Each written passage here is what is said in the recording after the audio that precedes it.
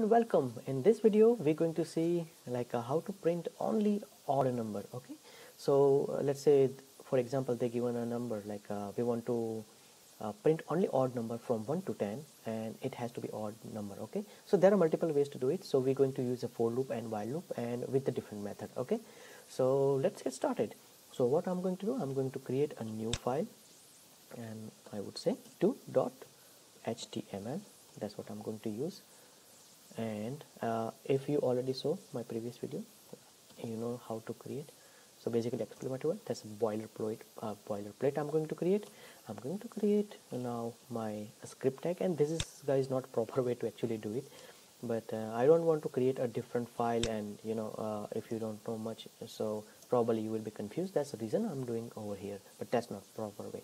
Okay? Actually you specify different uh, a file name uh, with a JS extension and you're going to do it. But let's get started over here.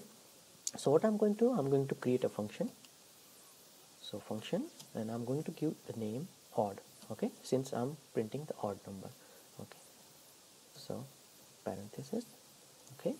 And now my for loop for let i equal to 1 okay? I is less than or equal to 10 i plus plus. Remember we did that one in the last video? So what it did basically it's going to increment by 1 instead of over here. What I'm going to do plus equal to 2 okay? And now document dot write and I'm going to use my backticks uh, I would say method 1 with for loop curly brace I mean dollar sign curly brace starting ending and I'm going to specify I over here. I'm going to also use my break tag since it's going to print in a different line. So uh, let's uh, see what is doing over here. So my i is 1 so that's my starting point. Okay. So step number 1 step number 2 that's going to be check whether 1 is less than or equal to 10 yes it is less than 10 so it's going to print this line. And now it will increment by 2 so it's going to add a 2 so now 1 becomes 3 okay. So once again 3 is 3 comes over here. 3 is less than 10 yes it is a less than 10 that's going to print this line. Once again it goes over here. Now it's 5 it will looping through until uh, this condition will becomes false. Okay? But this method is not proper way to do it and I'll tell you why. And I'm going to print. Or so I'm going to call my function and I'm going to right click I'm using my live server. Uh, if you don't have generally go to extension right here. And uh, you can type over here live server and you can install. Okay but I already have my live server. I'm not going to do that. I already installed. So and there is another method. I mean you can do like open in default browser or open in other browser. I'm using my live server so as you can see 1 3 5 7 9 10 is not odd number. That's why it's not going to print out. That's the one way to do it with the for loop. And we will see the second way and which is a proper way. And you know why this is not a proper way to do it? This time we already know right that uh, 1 to 10 we have the number right? But let's say you have an array. And from that array you have to uh, just print the odd number at that time this thing is not going to work right? So that's why I say this is not proper way. But if you already know the number this is the easiest way to do it okay? But what is the second way and which is the most efficient way I would say? I would say for this time I'm using k. So let k equal to 1 okay? So now k is less than or equal to 10 k plus plus. And curly brace. And I'm going to say if k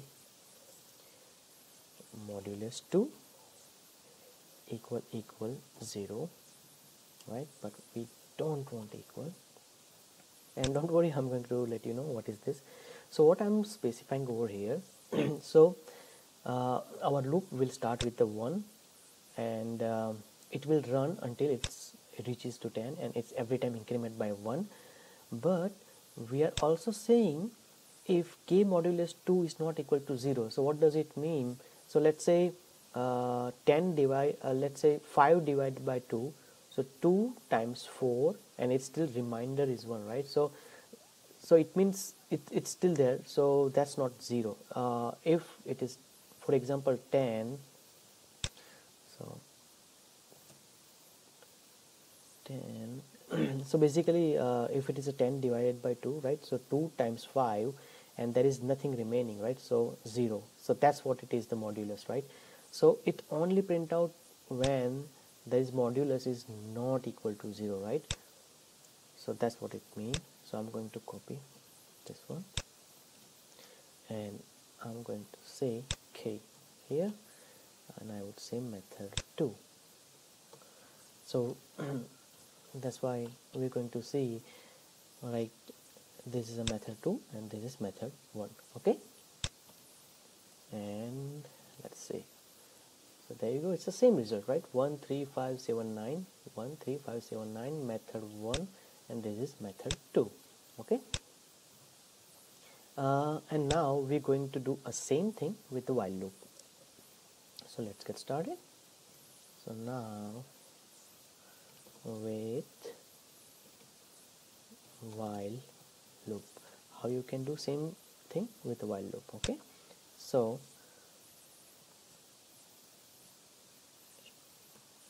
let j equal to 1 while j is less than or equal to 10 and curly brace.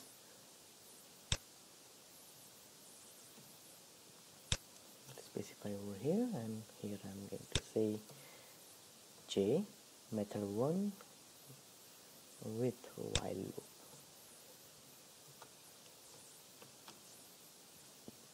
So in a while loop we're going to start with j right? This is our name of the variable. We start with a 1 so we are specifying condition over here. While j is less than or equal to 10 we're going to print this one and we're going to increment j plus equal to 2 and I'm going to check. See. whether it's printed or not? So I'm going to use uh, open with live server if you okay, don't have already. So what you can do you can click uh, over here uh, extension and type live okay. server. Plus equal to 10 and uh, install it okay? Since I already installed so I'm not going to install. And if you don't want to install and if you want to use another like you right click on it and open in default browser and open in other browser. You have two more options. It's up to you what you want to use. And I'm going to use open with live server. And let's see. So right over here say 13579 and as you can see method with uh, a one with a while loop. So your homework or your assignment would be uh, just print all even number start with 1 to 10 by using for loop okay? You don't have to worry about the while loop just for loop. So let me print it over here. Print 1 to 10 only even number okay by modulus method okay so this time I want even number with for loop and we will see you in next video. And uh, if you want a source code uh, I will provide a link of the description in the description. So you can check over there. If you like my video please like and share and subscribe. We will see you next video. Okay? Bye bye